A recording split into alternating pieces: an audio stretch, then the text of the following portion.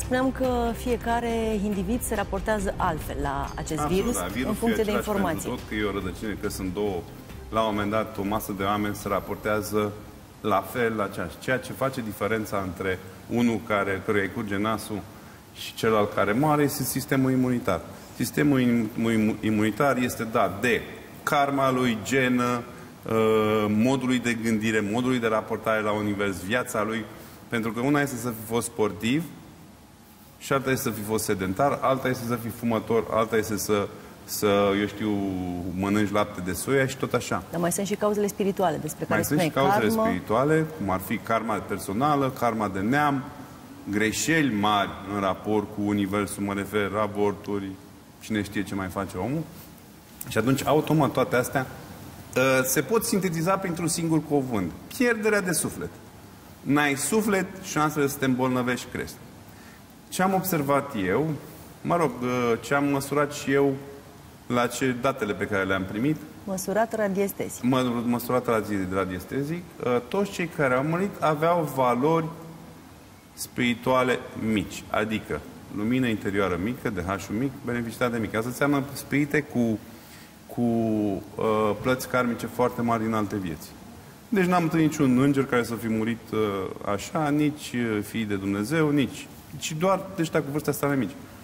Și mai e o chestie. Sunt oameni care nu se moare fără să fie îngerul morții lângă noi. Și atunci trebuie să înțelegeți că stăteam și mă gândeam, la un moment dat îmi făceam așa o, o problemă apropo de state, de uh, Spania sau de Italia. Dar, uh, uh, cum să vă zic, o, oamenii s-au depărtat așa un pic de spiritualitate. Și chiar dacă, uh, știți, ei au catedrale mari, Mm, nu cred că au, nu sunt foarte spiritualizați, pentru că asta știu, pentru că am, mai, am, am uh, elevi care predau în zonele respective. Ori uh, înseamnă că nici n-au cine să-i ajute și să curețe ceea ce se întâmplă în zona respectivă. Pentru că se întâmplă următorul fenomen și asta am observat, am verificat spitalele din Italia. Doamne, când ai un spital și uh, există o beneficitate a unui spital sau a unui loc și spitalul ăla devine minus, atunci n-ai nicio șansă să te vindeci acolo. Deci beneficitatea înseamnă energiile benefice din acel loc.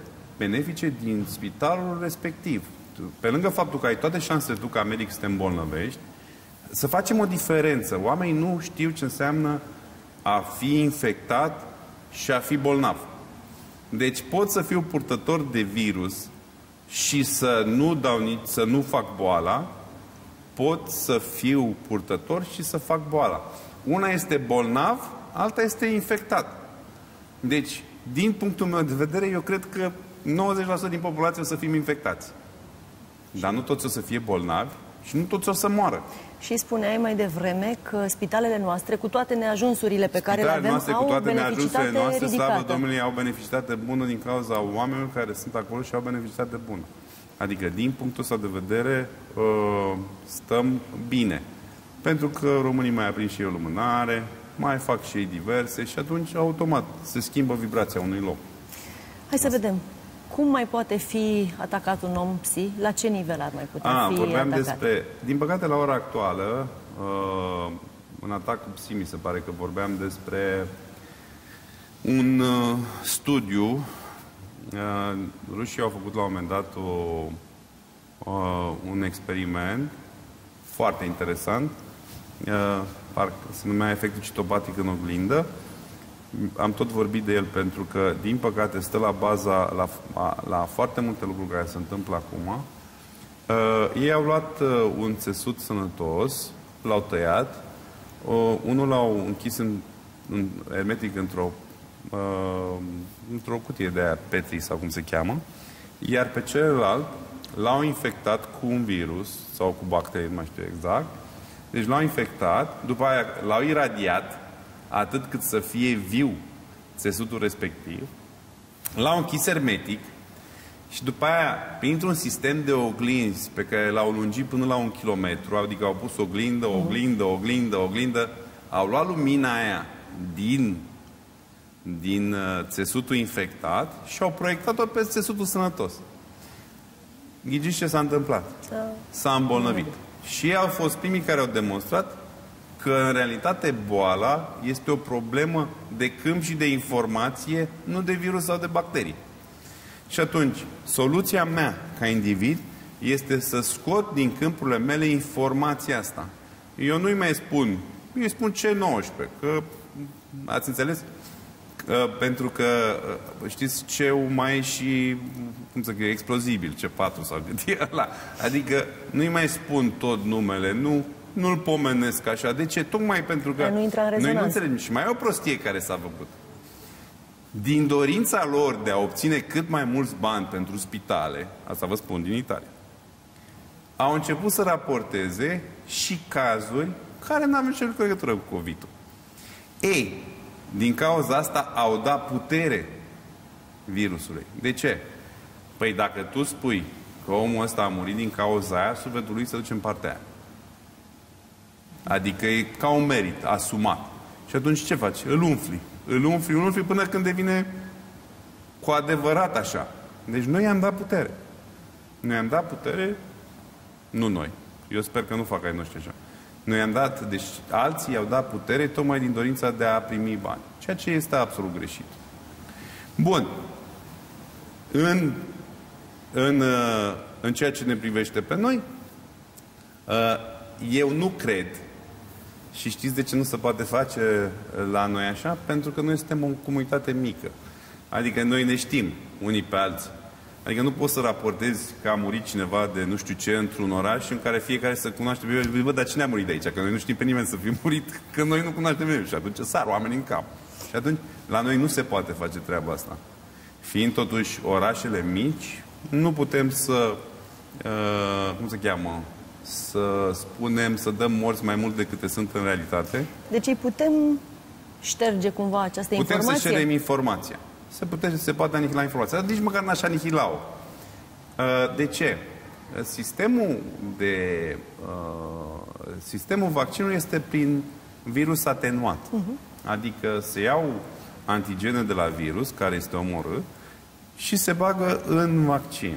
Ei, acest aceste antigene de, determină, de fapt, uh, cum se cheamă? Uh, Imunitatea mea. Apariția de anticorpi. Știți că uh, Cantacuzino a făcut treaba asta prima oară. El uh, a studiat magia de țară. Uh, foarte interesant. Da? A studiat magia de țară, da?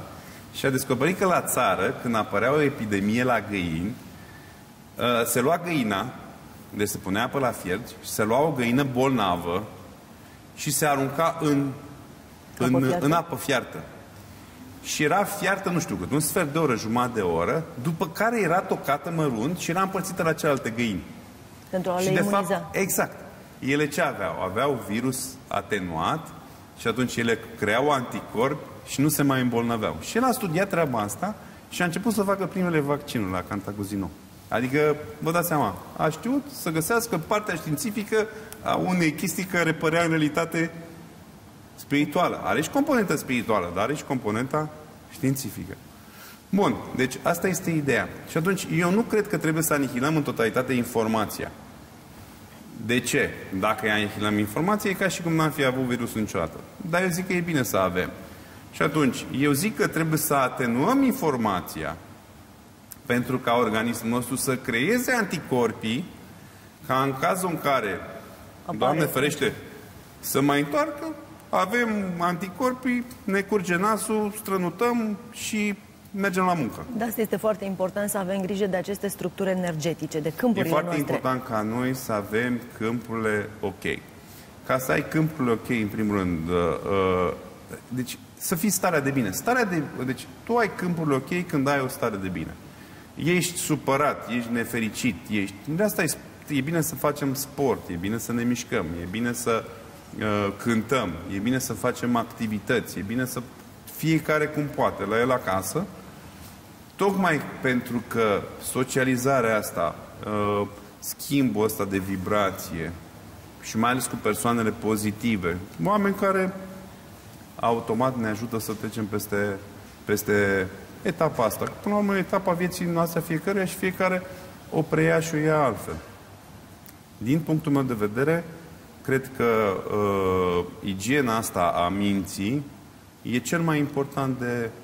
Și să nu uităm că hrana sufletului e totuși postul și rugăciunea. Acum nu mai poate să zică nimeni că postește, că se duce la... De ce e postul foarte important? Dacă vreți să știți, postul este important, are două importanțe. Uh, adică are importanță și din punct de vedere uh, medical, medical. Și, are, și e demonstrată științific acum. S-a luat da. premiul Nobel, da? Apropo uh-huh. de autofagia, din punct de vedere medical, are importanță pentru că amplifică sistemul imunitar, uh, curăță faptul că nu mănânci, face ca corpul să consume ce are în plus greșit și automat își revine. Din punct de vedere spiritual, în timpul postului se amplifică câmpurile și mai ales câmpul de protecție. Se amplifică imunitatea, se amplifică timusul, se amplifică chakra inimii, se reface sufletul în post. Deci când ții post negru, în realitate îți adun sufletul înapoi de pe unde l-ai lăsat, în viața asta și în altele. Și atunci, eu cred că cel mai important lucru în perioada asta, că toți suntem uh, eu știu, consemnați la domiciliu, mai în post, mai o rugăciune, mai toate ne ajută să trecem cu bine peste. Și vreau să mai spun ceva. Stăteam și mă gândeam, eu sunt de la, domnule, situația este așa. Cum pot să folosesc această situație în favoarea mea? În favoarea mea. Păi, acum toți avem timp, putem să ne ocupăm de carmele de neam, putem să... Eu acum, uh, deci ca maestru, fac mai multe inițieri decât făceam înainte, pentru că acum toată lumea are timp și toată lumea are, are nevoie. Ca să-și crească vibrația. Să-și crească vibrația. E foarte important că au înțeles. Foarte mult au înțeles și au neglijat pentru că efectiv au fost prinși de, de viață. Sunt oameni care lucrează 12 ore pe zi. Când să se ocupe și de asta? Și atunci... Inițier la distanță. Inițier la distanță. Uh, da normal. Am, fac terapie la distanță, inițieri la distanță, uh-huh. convorbiri la distanță, consultații la distanță, toate la distanță. Eu chiar mă amuzam. Pentru că eu, de exemplu, și mie mi se întâmplă să nu credeți că nu mi se întâmplă să mă îmbolnăvesc. De obicei, la mine se datorează epuizări. De exemplu, unul dintre, una dintre probleme terapeuților și pentru care mor terapeuții, și aici mă refer și preoți, și psihoterapeut, și maestri reiki, și bioenergoterapeut, este epuizare. De ce? Pentru că nu poți să spui nu. Și vine ce vine, știi ce, vreau să-l vezi și pe Cutărescu. Știi ce, pe el nu interesează că e 12 noaptea. Lui e rău. Și atunci tu, dacă nu știi să spui nu, îl ajuți. Și să și pe ăla, și pe ăla, Și nu ai timp să te refaci. Nu ai timp să-ți refaci sufletul. Eu asta fac în perioada asta. Încep să ne fac sufletul. De ce? Păi, Pierzi din suflet când ai conferință, pierzi din suflet când faci terapie, pierzi din suflet când vorbești, pierzi din suflet oh, oh, în consultații. Toți pierdem din suflet și mai ales vreau să spun că pierderea de suflet este mai mare la cei care sunt persoane publice, la cei care cântă, la cei care uh, predau, profesori, ele, ăst, uh, cum se cheamă, uh, învățători, uh, cântăreți, interpreți, Păi, una este să cânti la o unută de 400 de persoane și alta este să cânti pe un stadion.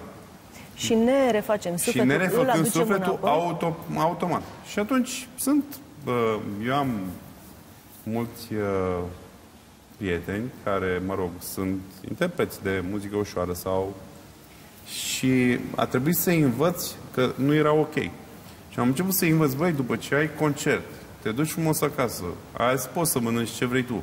Dar mâine stai cu minte în banca ta, mănânci mai încolo, uh, mănânci o supică. De ce? Te mai rogi Să-ți aduci sufletul înapoi. Pentru că tu ai proiectat sufletul ăsta pe toți oamenii, le-ai bucurat sufletele, dar tu ai dat din tine. Și când dai din tine, ai, n-ai, cum e? Rămâi fără. Da, am pornit de la, uh, de la ideea de post, da? Ideea de post. Postul reface sufletul și în mod special postul negru, să știți. Post atunci... negru care este puțin interpretabil. Unii spun cu apă, unii spun e, doar cu aghiazmă. O secundă. Cum e până la urmă? Postul negru biblic nu vorbește niciodată de apă. Adică vorbește de faptul că să nu mănânci. Dar nu vorbește de lipsa apei. Dar e adevărat că cel mai greu post e postul de apă. Mă rog, există Sfântul...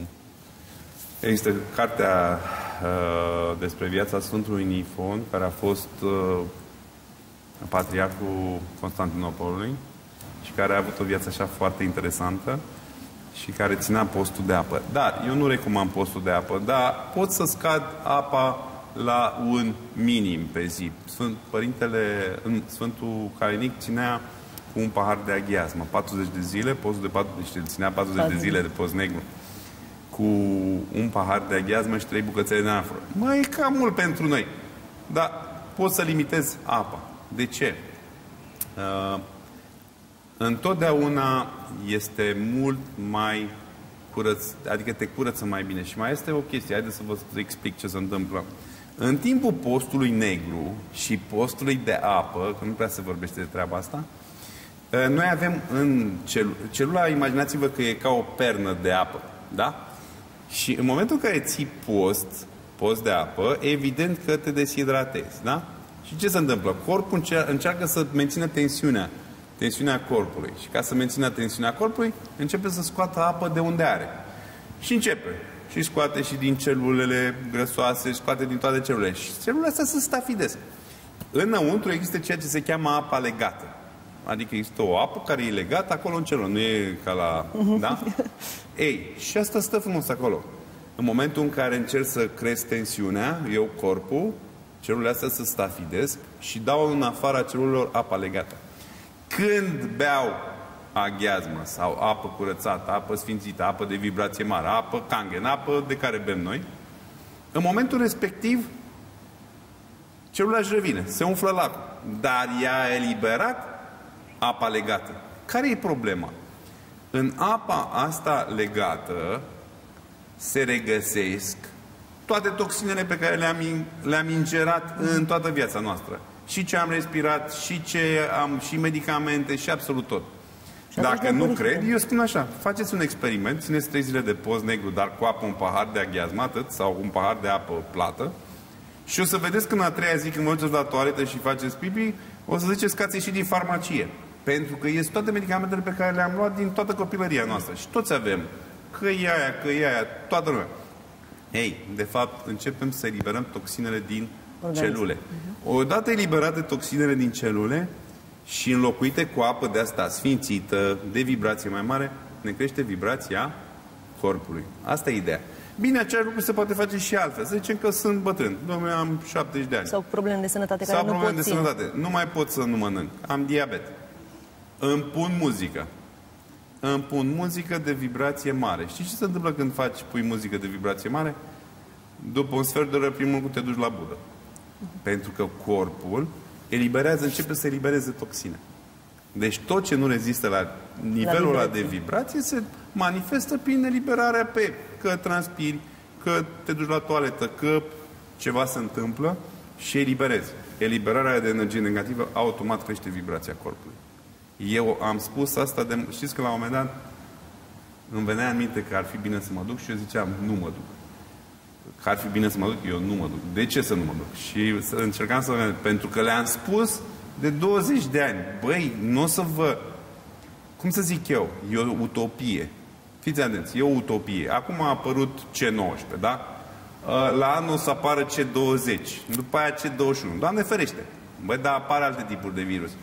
Eu nu pot să mă vaccinez pentru toate, pentru toți virusii care Îmi apar. Că sunt miliarde de, mi, miliarde de forme de virus, de informație. Ce fac? Când mi-am fac un, un miliard de rădăcini, mă injectez toată ziua, stau...